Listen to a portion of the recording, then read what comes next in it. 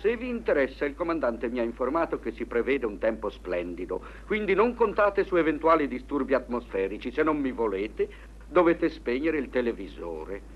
Fatelo subito, altrimenti rischiate di assistere alla proiezione di una storia molto emozionante. Io la conosco e quindi ritorno ai miei studi preferiti.